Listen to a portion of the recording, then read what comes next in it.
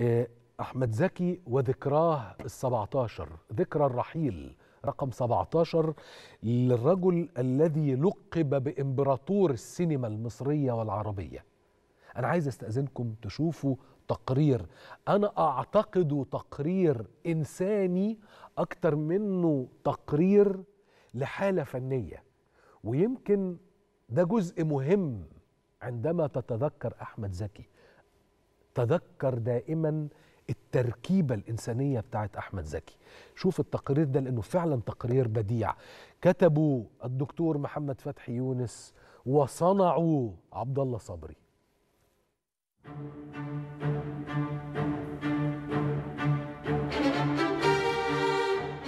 ثلاثة عقود من الفن والتشابك مع الحياة.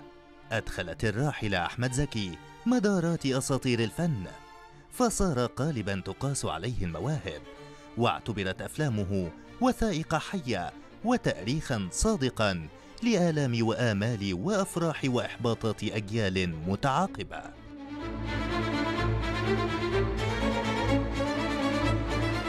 أنا بقى هفتح الودع وأرطس الجدع وأعمل حجاب مسحور. حجاب مسحور. لو شافوا القمر ما يدور. أي زبون أي زبون يسأل على سباخ أنا موجود يا حرامية. أهو كده الشغل يا مولانا. 57 عاما قضاها أحمد زكي في الدنيا. بدأت بميلاده عام 1948 في الزقازيق. وانتهت بوفاته في السابع والعشرين من مارس عام 2005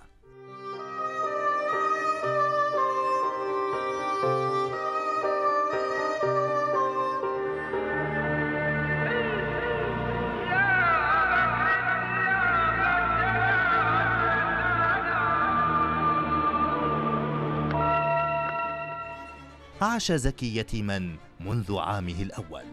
تزوجت أمه وهو بعد جنين وتولته جدته لأمه فكان الشرخ الأول.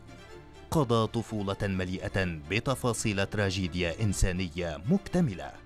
الحقيقة كل ما فيها من ذكريات حلوة ومؤلمة ما تخصش إلا صاحبها اللي هو أنا. أنا بس.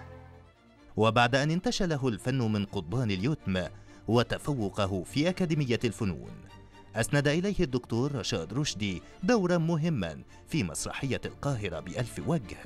واعترض الفنان سعيد أبو بكر على وجوده في المسرحية وكادت فرصة العمر تضيع. لولا تمسك رشدي به بعد مداولات شاقة وهو ما تكرر مرة أخرى في فيلم الكرنك. عندما رفضوا مشاركته لسعاد حسني بطولة الفيلم. بدعوى ابتعاده عن مواصفات الجان التقليدية فأمسك بكوب الماء وظل يضغط عليه بعنف وهو لا يدري حتى قطع شرايين يده وأشيع أنه حاول الانتحار. برغم كل هذه الثروة فقد كنت خالي المشاعر.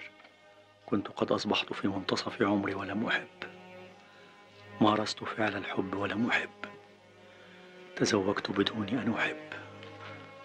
وطلقت ربابة غير آسف ولم أنجب منها قاصدا. كانت علاقتي بالإنجاب تجسد حياتي المزدوجة.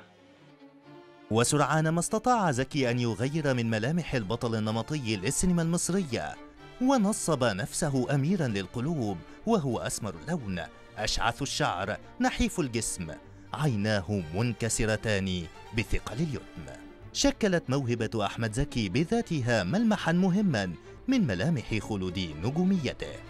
بدأ حياته السينمائية بأدوار صغيرة كأبناء الصمت ثم خطى خطوات مهمة في البطنية وحقق له مسلسل الأيام انتشارا غير مسبوق. يتركني حامد اليوم وقد بهرته الحياة الجديدة. نسي حامد أنه جاء مرافقا لي. لا ألقى منه إلا إهمالا. والصحاب كل منصرف إلى شأنه. ما أشبه الليلة بالبارحة. طوال مشواره السينمائي الذي حفل بثمانية وخمسين فيلما اختار أحمد زكي معادلة مربحة لكل الأطراف. فصنع أعمالا للتاريخ والفن وأخرى للسوق ليتمكن من إتمام مشروعه السينمائي.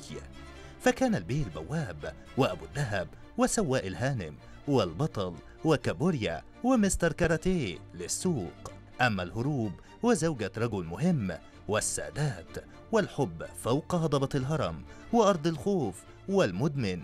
وأنا لا أكذب ولكني أتجمل وأضحك الصورة تطلع حلوة.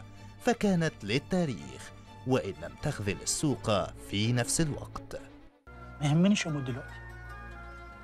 ما يهمنيش أموت بعد 100 سنة. أنا يهمني لما أموت أفضل محافظ على مكانتي.